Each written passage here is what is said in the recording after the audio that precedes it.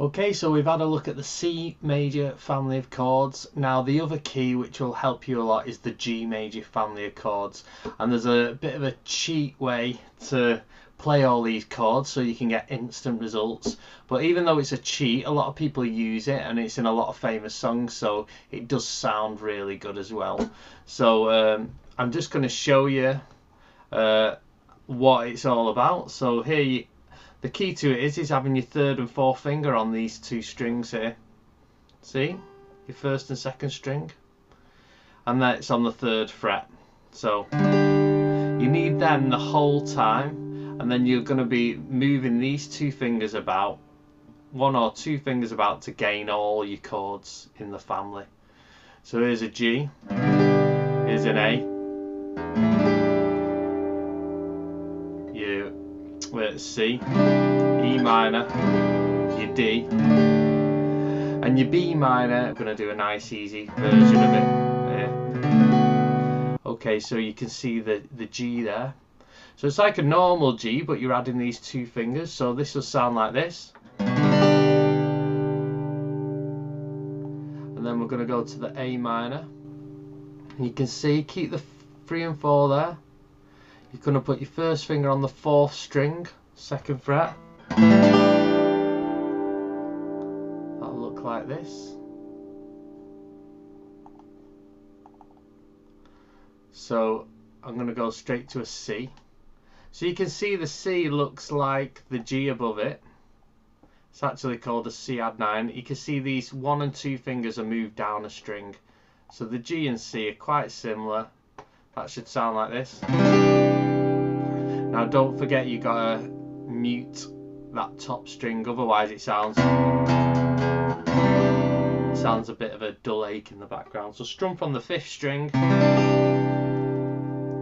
So I'll show you what that looks like. If you notice, it's like the G, and the C, G to C.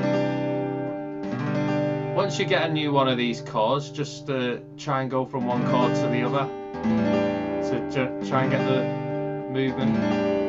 That's your A, that's your G, that's your C. Next chord, your D.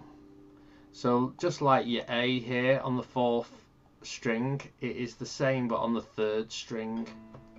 That's what it should sound like. So you strum from the fourth string, don't strum the top two. So that should look like that. I'll get onto another video on how to mute these strings so you can strum with freedom and, and not hit these strings. Okay, but that's for another day. So G, A, C, and then to D. And then the you have the oh yeah the E minor so keeping your third and fourth there put an E minor shape on. So that looks like that. Okay. And then the last one is a B minor. So you can see there, take off the third and fourth, we put a finger on the fifth string, second finger on the third string, third finger on the first string at the bottom. And you see they're all on the, the same fret. All on the second fret with an X at the top so there. So I'm using this finger to mute that top string. Sometimes I use my thumb. So you've got G, A, C, D, E minor, and B minor. And that's your family of chords, they all belong to each other. You'll find that most songs stick to a family and once you find out where to put the capo you can play that set of chords